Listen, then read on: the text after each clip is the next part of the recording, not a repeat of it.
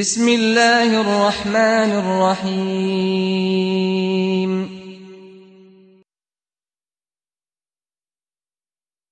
لا إله إلا الله لا إله إلا الله. الحمد لله الحمد لله العلي الذات عظيم الصفات سمي السمات كبير الشأن. جليل القدر رفيع الذكر مطاع الأمر جليل البرهان. فخيم الاسم عزيز العلم وسيع الحلم كثير الغفران. جميل الثناء جزيل العطاء مجيب الدعاء عميم الإحسان. سريع الحساب شديد العقاب عليم العذاب عزيز السلطان. وأشهد أن لا إله إلا الله وحده لا شريك له. وأشهد أن محمدا عبده ورسوله.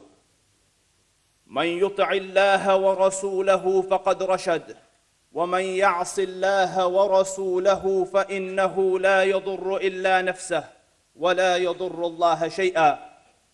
أما بعد فقال الله تبارك وتعالى يا أيها الناس اتقوا ربكم الذي خلقكم من نفس واحدة وخلق منها زوجها وبث منهما رجالا كثيرا ونساء واتقوا الله الذي تساءلون به والارحام ان الله كان عليكم رقيبا My beloved brethren, most respected elders, mothers and sisters, It is no secret that we are living in times of great change.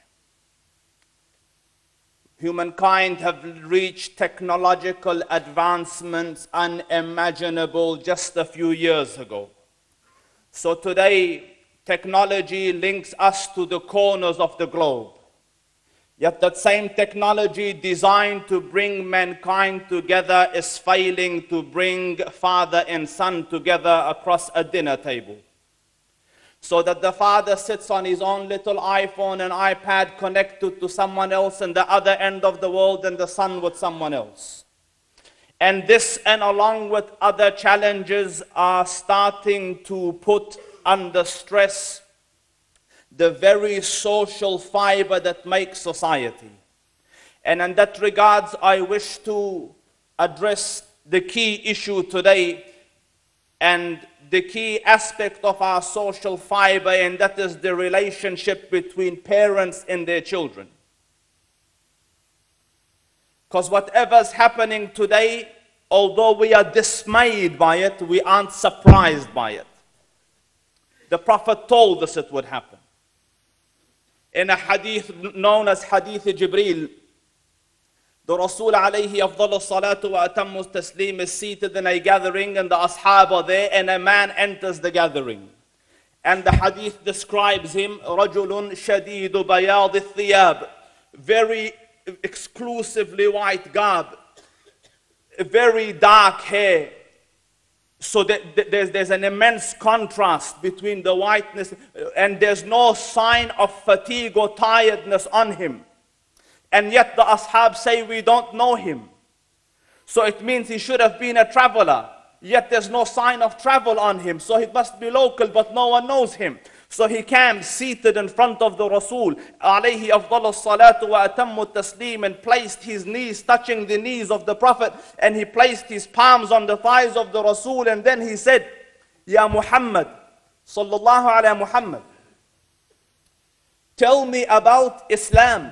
So the Prophet ﷺ answered. And when he finished, the questioner said, Sadaqt. Time is very short, so I can't go into elaboration. So he said, Sadaqt, you speak the truth. So the ashab say, We are perplexed. You're asking and confirming as though you know the answer, so why are you asking? And then he said, Tell me about Iman. So the Prophet ﷺ answered, the man said, Sadaqt, you spoke the truth. And then he said, tell me about ihsan. And the Prophet answered and again he said, Sadaqt. So then he says, tell me about the hour, day of judgment. So the Rasul said, The questioner doesn't know any more than the one he is questioning Or the one being questioned doesn't know more than the one who is questioning. So he said, فأخبرني عن أماراتها أي علاماتها. Tell me its signs then. So the Rasul said, and listen, أن تلد الأمة ربتها أن تلد الأمة ربتها when a female slave gives birth to her master. when a servant gives birth to her master. Ibn Hajar al-Asqalani in the Sharh of the Hadith says, this is in reference to uquq al-walidain. That a time will come where the social fiber will disintegrate to the level where children will become obnoxious, arrogant, rude, and crude to their parents. Children, the one who you've given birth to, will become your masters. And subhanallah, has the Rasul ever uttered what hasn't happened? And you see it today. Forget about in homes, you see it in mainstream media as though it is being encouraged. Rebel against your parents. And that's why I say we are dismayed but aren't surprised the Prophet said it would happen. Yet Muslims, it isn't a small issue. Listen, the Rasul is sitting in a gathering. The hadith is in the Sahihain and narrated by Abu Bakr as-Siddiq radiallahu anhu. And he asks, ألا أنبئكم بأكبر الكبائر? Should I not inform you of the greatest of the major sins? So they said, قالوا بلى يا رسول الله, inform us. So he said, الإشراك بالله. Allah Rabbul Izzah. Shirk with the Dhul Arsh al-Majid and فعال لما يريد. Associating another partner with Allah Rabbul Izzah. Making someone equal to the majesty of Allah Rabbul Izzah. Directing worship to another but Allah Rabbul Izzah. Shirk. Al-Ishraku Billah. The most colossal sin between the heavens above and the earth below. A concept against which Allah Rabbul Izzah sent 124,000 prophets to teach you not to perform shirk, to teach you to make the tawheed of the Dhul Arsh al-Majid, to direct worship and ibadah to Allah alone. قال تعالى ولقد أرسلنا نوحا إلى قومه فقال يا قوم اعبدوا الله ما لكم من إله غيره Even in the time of Nuh, Nuh alayhi salam came to his people. What was his message? Oh, my people, worship Allah alone.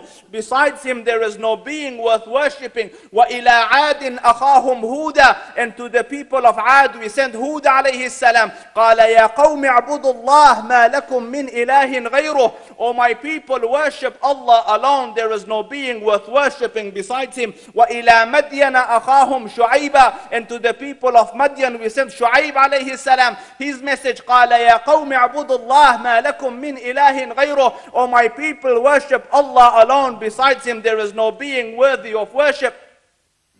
124 وما أرسلنا من رسول and we didn't send a prophet except that he came with this concept that worship Allah alone إلا ليعبدوا الله مخلصين له الدين worship Allah in true sincerity and unify Him in worship and make Allah alone in His tawheed. The Ten Commandments are given to Musa alayhi salam. The first of the Ten Commandments in the Hebrew, Shama Israelu Adnai Eloheinu Adnai Echad. Hear, O Israel, that the Lord thy God, the Lord is one. 13 centuries after Musa Isa alayhi salam came, they asked him, Master, which is the best, which is the first of the ten of the commandments? So he repeated, Shama Israelu Adnai Eloheinu Adnai Echad. Hear, O Israel, that the Lord thy God, the Lord is one. Allah is one. It is the, there is no sin greater than associating a partner with Allah Rabbul Izzah. إنه من يشرك بالله فقد حرم الله عليه الجنة ومأواه النار Whoever associates a partner with Allah, Allah will make Jannat haram for him. So the biggest concept in the heavens above and the earth beneath is the, is the Tawheed of Allah. And the biggest sin is to break the Tawheed of the Dhul Arsh al-Majid. So the Rasul said, the biggest sin, al-ishraku billah. Second, وَعُقُوقُ الْوَالِدَيْنِ And the disobedience of parents. After what? After the Tawheed of Allah Rabbul Izzah. The second most important concept is to be obedient and dutiful and devout to your parents. And the, gra- the second greatest sin on the tongue of the Rasul وعق- and disobedience of parents.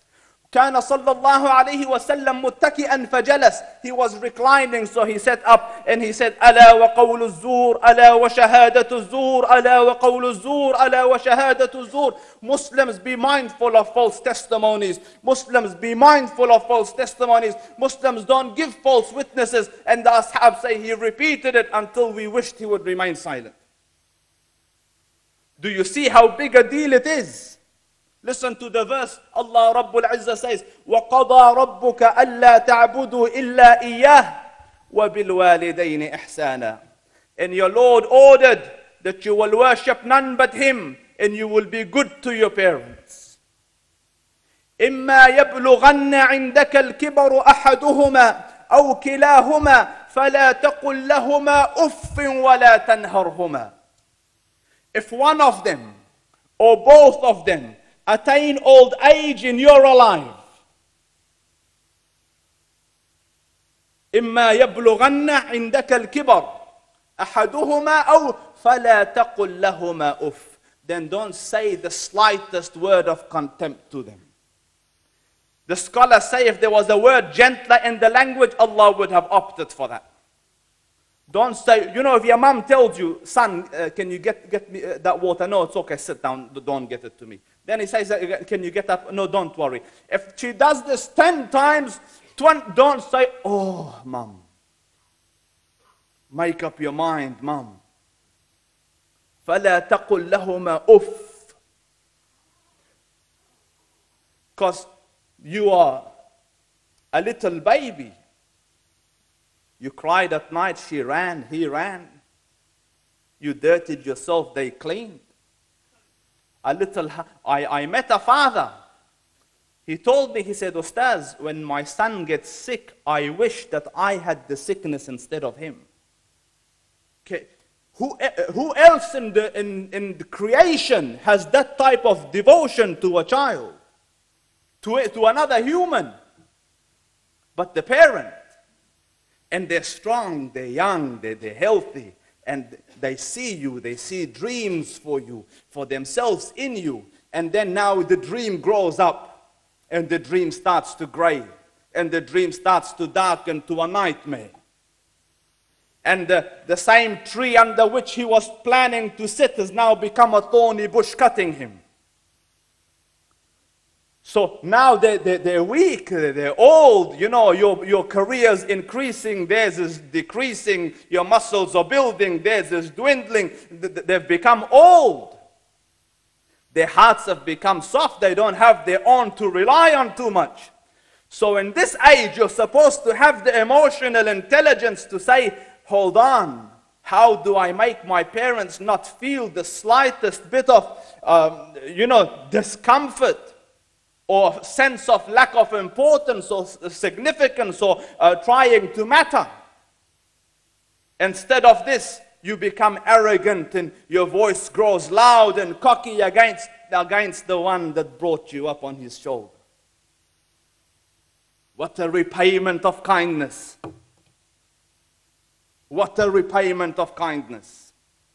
So Allah is the wafi. You see, Allah Rabbul Izzah doesn't betray.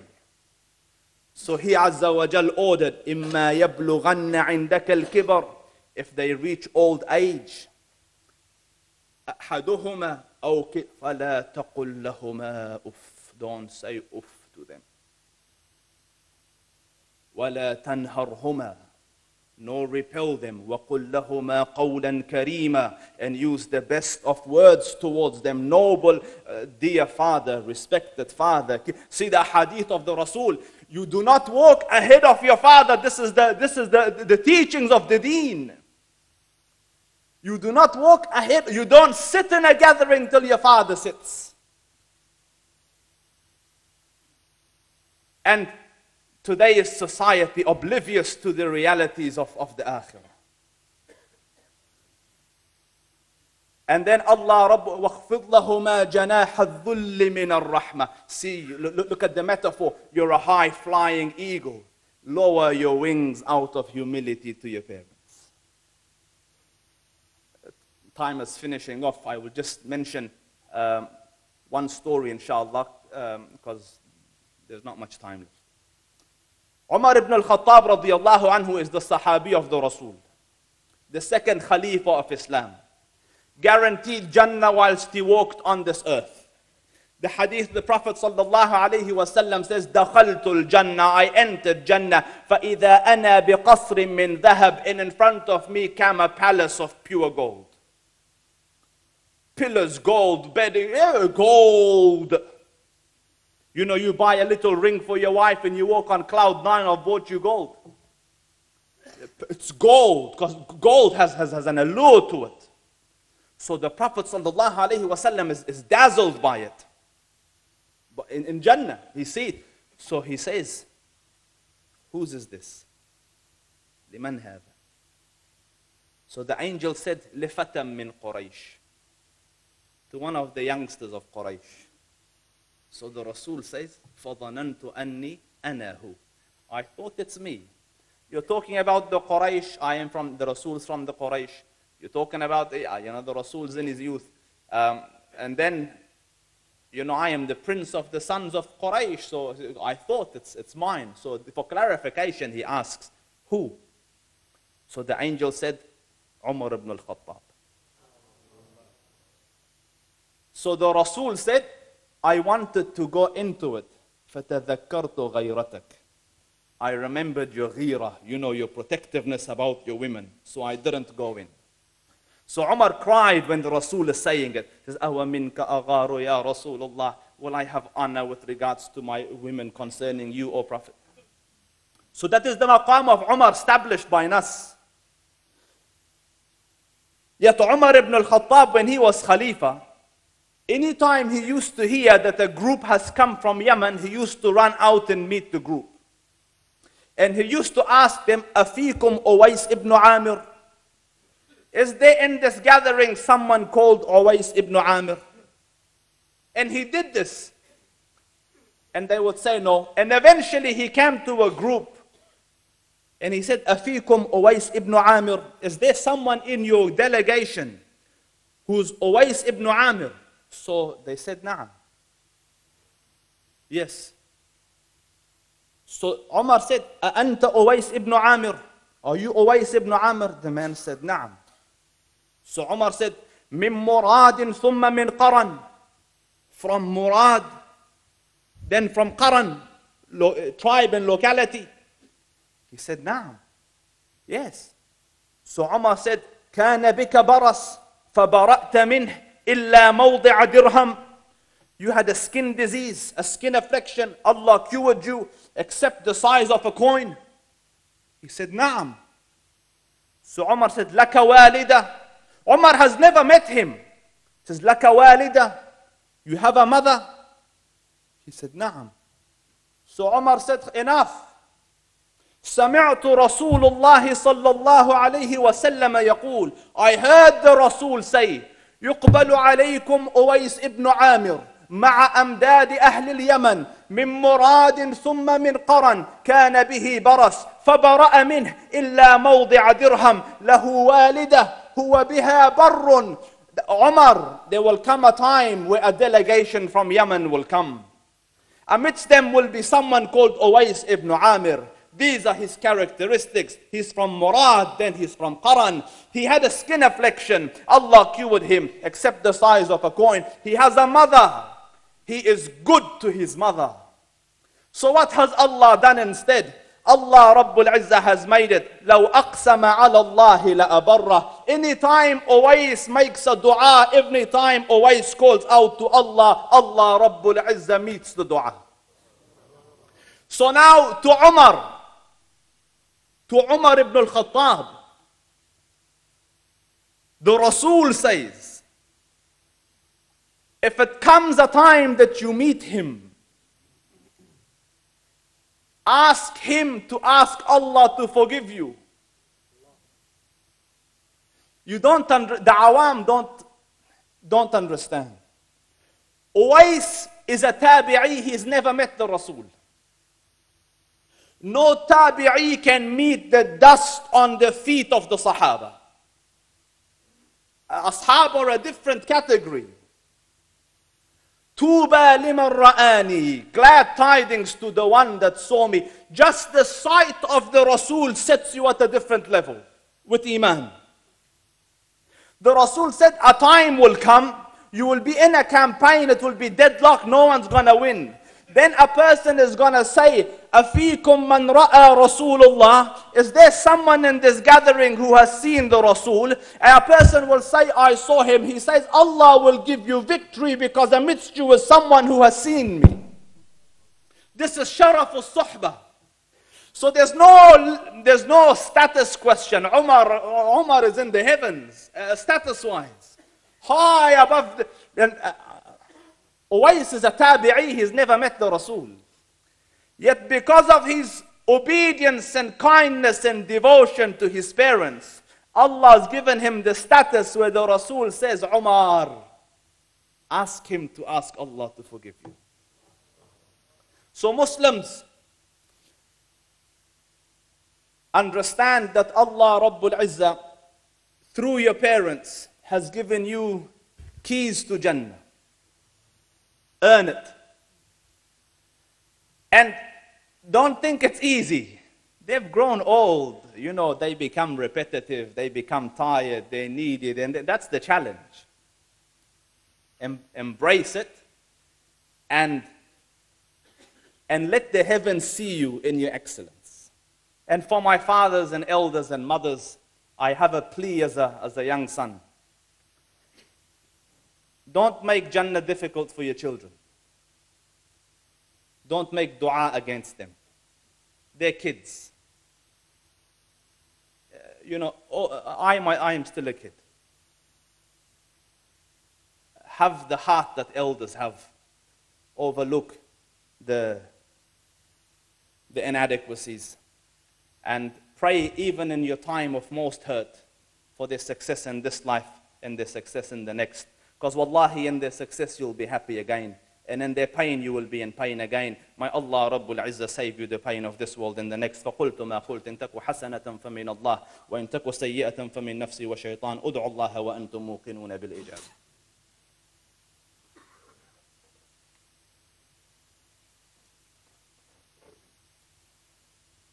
الحمد لله الحمد لله نحمده ونستعينه ونستغفره ونستهديه ونعوذ بالله من شرور أنفسنا ومن سيئات أعمالنا. من يهده الله فلا مضل له ومن يضلل فلا هادي له. وأشهد أن لا إله إلا الله وحده لا شريك له وأشهد أن محمدا عبده ورسوله. من يطع الله ورسوله فقد رشد ومن يعص الله ورسوله فإنه لا يضر إلا نفسه ولا يضر الله شيئا. أعوذ بالله السميع العليم من الشيطان الرجيم. إن الله وملائكته يصلون على النبي. يا أيها الذين آمنوا صلوا عليه وسلموا تسليما. اللهم صل وسلم وزد وبارك على عبدك ورسولك محمد وعلى آله وأصحابه ومن اهتدى بهديه إلى يوم الدين. قال النبي صلى الله عليه وسلم أرحم أمتي بأمتي أبو بكر وأشدهم في أمر الله عمر وأصدقهم حياء عثمان وأقضاهم علي. وفاطمة سيدة النساء أهل الجنة وحمزة أسد الله وأسد رسوله اللهم اغفر العباس وولده مغفرة ظاهرة وباطنة لا تغادر ذنبا. الله الله في أصحابي. لا تتخذوهم من بعد غرضا فمن أحبهم فبحب أحبهم. ومن أبغضهم فببغض أبغضهم. وخير القرون قرني. ثم الذين يلونهم ثم الذين يلونهم. عباد الله إن الله يأمر بالعدل والإحسان وإيتاء ذي القربى وينهى عن الفحشاء والمنكر والبغي. يعظكم لعلكم تذكرون. واذكروا الله العظيم يذكركم وادعوه يستجب لكم ولذكر الله أعلى وأجل وأهم وأتم وأكبر والله يعلم ما تصنعون وقوموا إلى صلاتكم يرحمكم الرحمن.